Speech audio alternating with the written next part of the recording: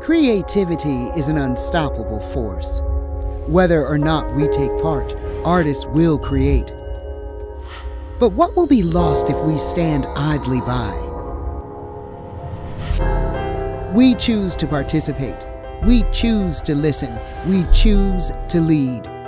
As the National Cultural Center, our commitment goes beyond our physical space. We are a living, breathing, ever evolving entity that thrives on the energy of our shared community. We are America singing, dancing. Together, we are America's future. Together, we are for the arts.